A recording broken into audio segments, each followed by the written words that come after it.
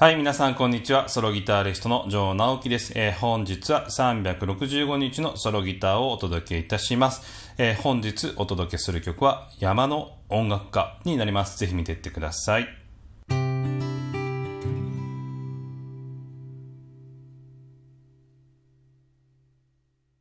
はい、えー本日お届けするですね、山の音楽家ですけどもね、えー私は音楽家山のコリス、上手にバイオリン弾いてみましょう、キュッキュッキュッキュッキュッってやつですね。あのーこのね、歌詞はね、どうやら日本語だと5番まであるらしいんですけれども、その中に、えーギタリストは登場しません。残念ですね。えーこれをですね、今日はですね、えーソロギターでお届けしたいと思います。ぜひ聴いていってください。えーそれではどうぞ、山の音楽家。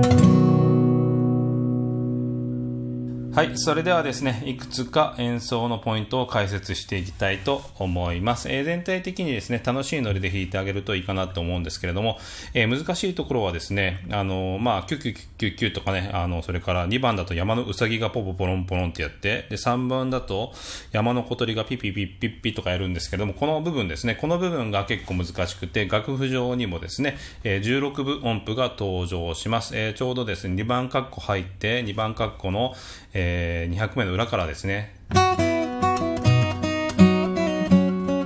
の部分なんですけれども、この3、1っていくところですね。この3、1っていくところを、えー、同じ指でですね、右手、同じ指でパパってこう、例えば中指2弦なんで、中指タタタってやると結構忙しいので、もしこれちゃんとピッキングする場合は、中指、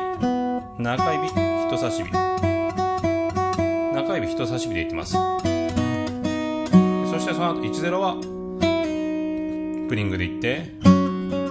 次の31これピッキングでいく場合は中指人差し指でいてこのここは31は例えばプリングでいっちゃってもいいですねなんでプリングでいくところと全部ピッキングするところと自分でその都度その都度ですね決めてあげてやってあげるといいと思いますまあでそのピッキングでいく場合は中指だけで連打しないで同弦の連打を別の指で。こうやってやるのは結構ポイントですね。で、それから一応ですね、バイオリンでキュッキュッキュッキュッキュッってイメージなんで、この、えっと、例えば、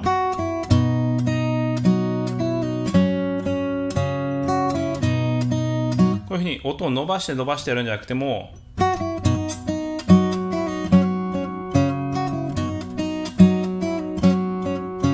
ちょっとこう、力を抜いたりとかして切ってあげるんですね、音をね。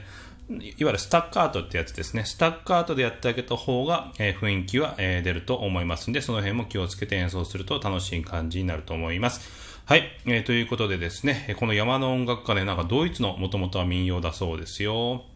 えーぜひですね、ドイツ語で、えー、とどうやって歌うんでしょうかね。日本語の歌詞はね、日本でもちろん有名なんですけどもね。はい、今日はですね、これをね、ソロギターでアレンジしましたので、皆さんもソロギターでぜひお楽しみください。はい、ということで、本日は365日のソロギター山の音楽家をお届けいたしました。ソロギタリストのジョー直樹でした。それではまた。